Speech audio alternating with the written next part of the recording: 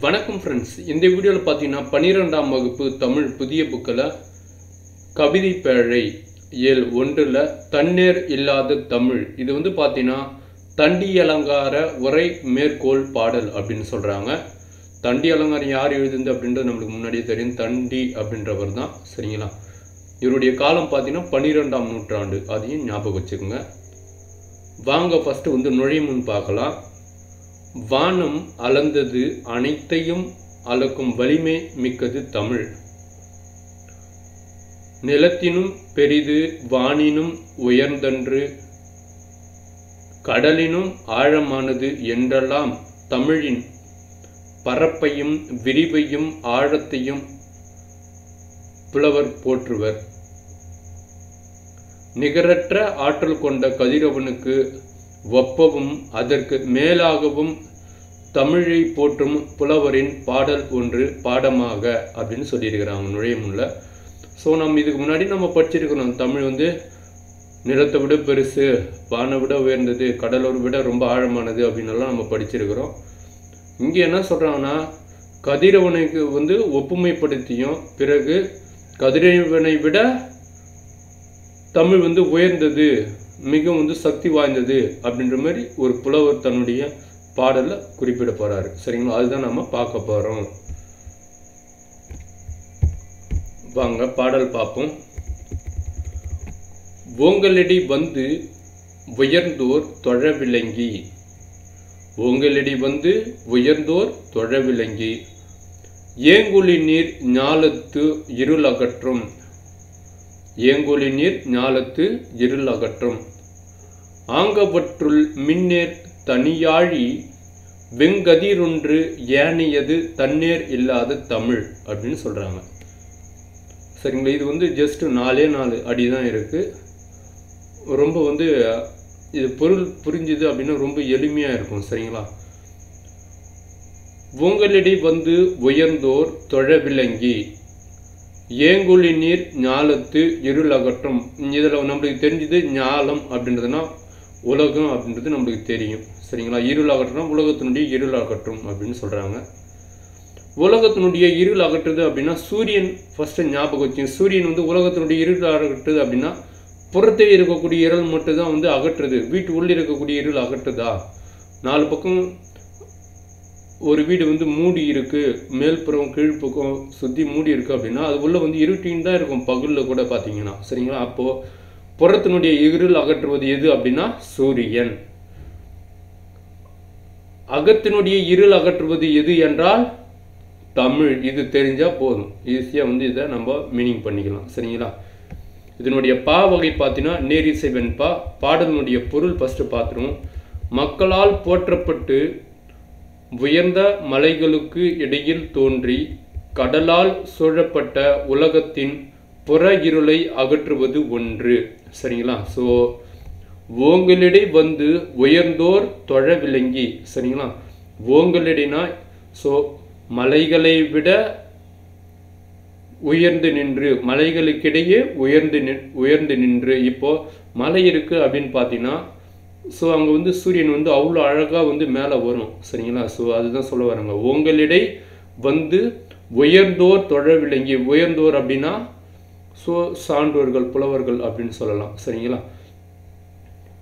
ஏங்கொலி நீர் ஞாலத்து. ஏங்கொலி நீர் அப்படின்னா இங்கே வந்து கடல் தான் ஏங்கொலி நீர் அப்படின்னு சொல்லுவாங்க. சரிங்களா?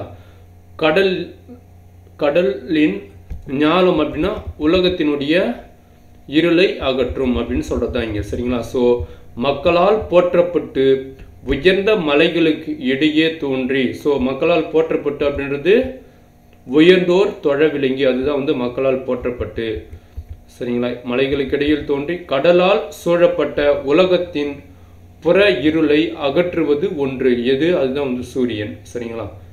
இன்னொன்று பொதிகை மலையில் தோன்றி அந்த பொதிகை மலையில் தோன்றி அப்படின்றது தான் வந்து இங்கே ஆக ஆங்கப்பற்று அப்படின்னு சொல்லக்கூடிய அடி. ஆங்கப்பற்றுள் பொதிகை மலையில் தொடங்கி மின்னேர் தனியாழி வெங்கதிர் ஒன்று அப்படின்னு சொல்கிறாங்க மின்னேர் அப்படின்னா சான்றோர்கள். இங்கே எப்படி வந்து உயர்ந்தோர் அப்படின்னு சொல்கிறாங்களோ இங்கே அது மாதிரி இங்கே வந்து மின்னேர். மின்னோர் அப்படின்னா சான்றோர்களால் தொழப்பட்டு அதாவது சான்றோர்களால்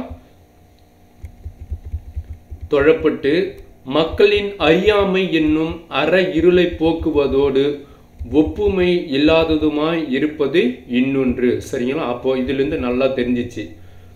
ஸோ உலகத்தினுடைய புற இருளை போற்றுவது சூரியன் மக்களினுடைய அக இருளை போற்றுவது செந்தமிழ். சரிங்களா? அது வந்து இங்கே என்னன்னு சொல்கிறாங்க தண்ணீர் இல்லாத தமிழ் அப்படின்னு சொல்கிறாங்க சரிங்களா? இதுதான் வந்து இந்த பாடலினுடைய பொருள். சரிங்களா? இருளை போக்கும் இங்கே வந்து பார்த்தீங்கன்னா இருளை போக்கும் இவ்விரண்டில் ஒன்று ஒலிக்கின்ற கதிரவன் இன்னொன்று தனக்கு நிகரல்லாத தமிழ். சரிங்களா? இதுதான் வந்து ரொம்ப வந்து எளிமையானது. சரிங்களா? ஓங்கலடி வந்து உயர்ந்தோர் தொழ விளங்கி ஏங்கொலி நீர் ஞாலத்து இருளகற்றும். சரிங்களா? ஓங்கலடினா இரண்டு மலைகளுக்கு இடையில் உயர்ந்து நின்று அதோடு மட்டும் இல்லாமல் மக்களால் போற்றப்பட்டு ஸோ கடல் நீரால் தோற்றுவிக்கப்பட்ட உலகத்தினுடைய இருளானது. எதனால் அகலுது அப்படின்றாங்க? சூரியனால் அகலுகிறது. அதே மாதிரி ஆங்கவற்றுள் ஆங்கவற்றுள் இங்கே பொதுகை மலையில் தோன்றி மின்னேர் தனியாழி அதாவது மின்னேர்னா சான்றோர்களால் தொழப்பட்டு மக்கள்களுக்கிடையே தேவையில்லாத அற இருளை போக்குவது தண்ணீர் இல்லாத தமிழ் அப்படின்றது இதுக்கு இந்த நாலு நாலடிக்கு உண்டான மீனிங் சரிங்களா? ஓகே நெக்ஸ்ட் வந்து இதனுடைய பா வகை பார்த்தீங்கன்னா நேரிசை வெண்பா. சரிங்களா? அணி பார்த்தீங்கன்னா பொருள் வேற்றுமை அணி. பொருள் வேற்றுமை அணினா என்ன அப்படின்னா ஃபர்ஸ்ட் வந்து ஒற்றுமைப்படுத்துவாங்க பின்னாடி என்ன பண்ணுவாங்கன்னா வேறுபடுத்தி காட்டுவாங்க. சரிங்களா? இருவேறு பொருள்களுக்கிடையே ஒற்றுமைக்கு முதலில் கூறி பின் வேற்றுமைப்படுத்தி காட்டுவது பொருள் வேற்றுமை அணி என்பதாகும். இந்த பாடலில் பாருங்க ரெண்டுத்தையுமே என்ன பண்ணுது? இருளை தான் அகற்றுது. சரிங்களா? ஸோ ரெண்டுமே ஒற்றுமைப்படுத்திட்டாங்க ரெண்டுமே இருளை தான் அகற்றுது.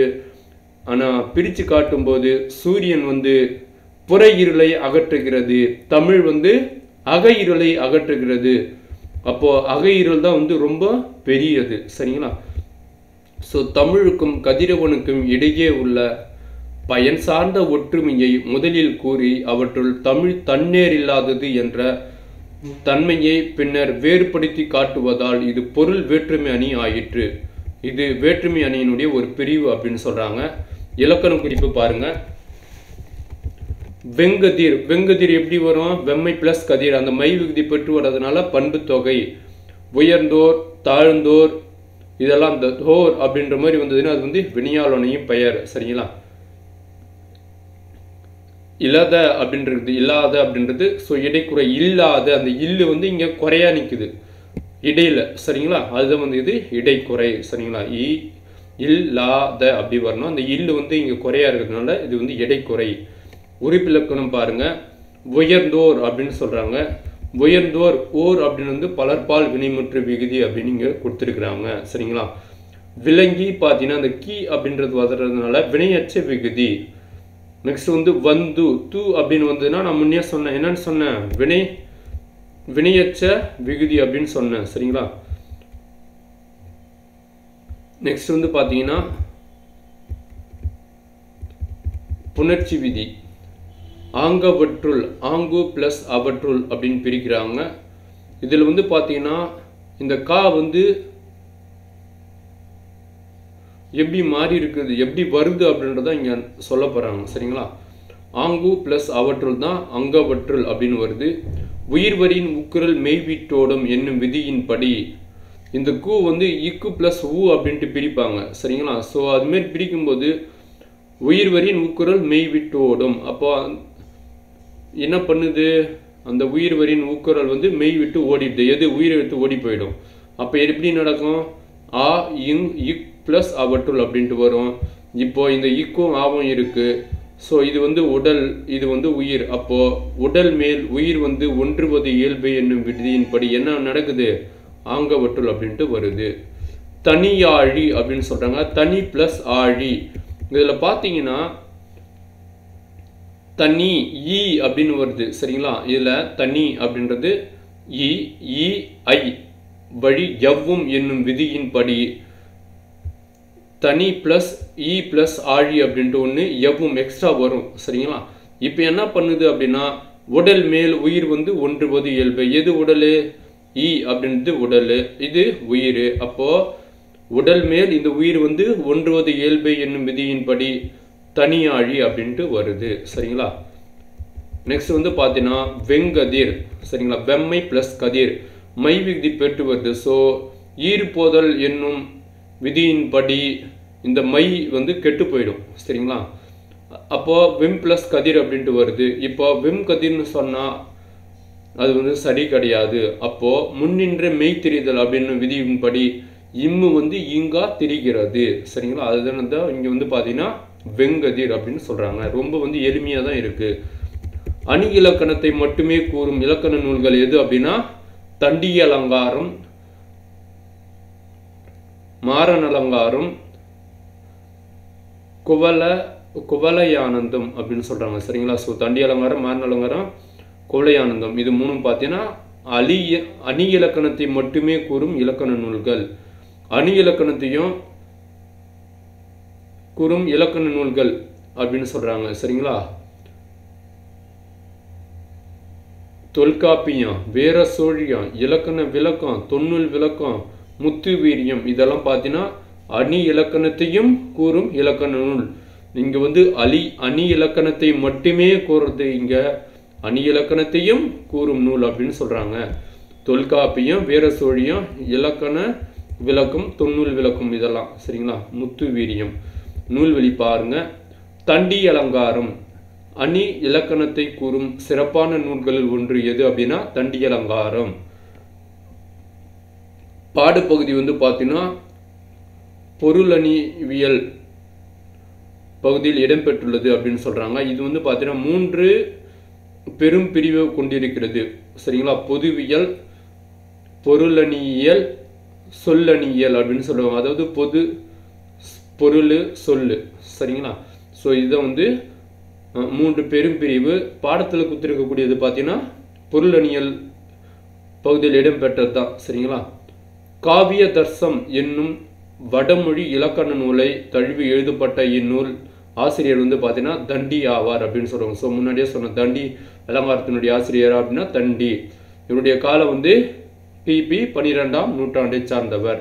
இந்நூல் வந்து மூணு பெரும் பிரிவுகளாக இருக்கிறது அப்படின்னு சொன்னேன் பொது பொருள் சொல்லு சரிங்களா? நெக்ஸ்ட் வந்து இலக்கண நூலார் உரை ஆசிரியர்கள் ஆகியோர் பலரால் எடுத்தாளப்பட்ட பெருமைப்பட்டது இந்த நூல் அப்படின்னு சொல்லி முடிக்கிறாங்க. அவ்வளோதான் வந்து இந்த தண்டி அலங்கார மேற்கோள் நூல். சரிங்களா? இந்த வீடியோ உங்களுக்கு பிடிச்சிருக்கு நான் நம்புறேன். இதில் என்ன அப்படின்னா மெயினாக புற இருளை அகற்றுவது சூரியன் அக இருளை அகற்றுவது தமிழ். புற இருளை விட அக இருளே மிகவும் ஆற்றல் மிக்கது. ஆகையால் தமிழே சிறந்தது. எப்படி சூரியனை விட கம்பேர் பண்ணும்போது தமிழே சிறந்தது அப்படின்னு சொல்கிறாரு இதை புரிஞ்சிக்கினா போதும் சரிங்களா?